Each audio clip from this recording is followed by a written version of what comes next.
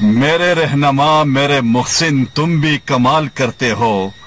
بادشاہوں کی محفل میں بیٹھ کر مزدوروں کی بات کرتے ہو۔ السلام علیکم تمام پاکستانیوں سے۔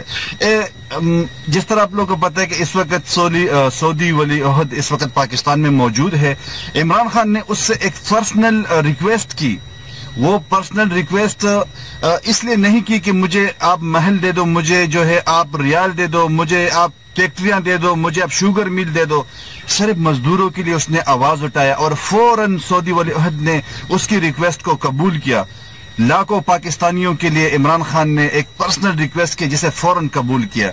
باقی بھی ہمارے ملک میں جو رہ چکے ہیں، جو دس دس سال جن لوگوں نے حکمرانی کیا ہے کیا ہے، آپ لوگ اپنے ایمانداری سے بتاؤ، کبھی ان لوگوں نے اس غریب طبقے کے لیے آواز اٹھایا؟ نہیں اٹھایا۔ آپ ابھی بھی اگر آپ لوگ نہیں سمجھو گے تو کب سمجھو گے؟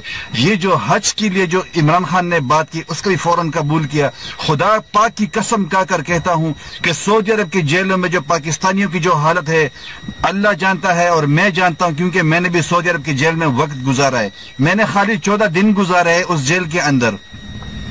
اور وہ ایک ایک دن جو ہے، ایک ایک سال کی طرح ہوتا ہے۔ اس طرح وہاں پر کچھ پاکستانی ایسی بھی ہے، بہت سارے پاکستانی ہیں جو سالوں سال سے وہاں پر پڑے ہوئے ہیں، ہمارے پاکستانی جو وہاں پر جو ادارہ ہے، وہ بھی ہمارا وہاں پہ حال پوچھنے والا کوئی بھی نہیں ہے۔ واحد عمران خان ہے، جس کے دل میں درد ہے ان مزدوروں کے لیے، ان پاکستانیوں کے لیے۔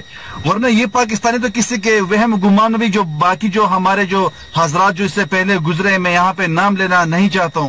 ان لوگوں نے تو کبھی اس طبقے کا نہیں سوچا۔ اگر کسی نے سوچا ہے تو وہ ہے صرف اور صرف عمران خان۔ پاکستان اس وقت ترقی کی راہ پر چل پڑا ہے۔ خدا کے لیے عمران خان کو سپورٹ کرو۔ عمران خان کو سپورٹ کرنا، پاکستان کو سپورٹ کرنا ہے۔ اور یہی وہ پاکستان ہے جو پورے دنیا میں سارے مسلمانوں کے لیے خیر خواہ ہے۔ پاکستان ہے تو پورے دنیا کے مسلمان انشاءاللہ آباد رہیں گے۔ عمران خان کو بھرپور سپورٹ کرو اور اس ویڈیو کو لازمی شیئر کرو۔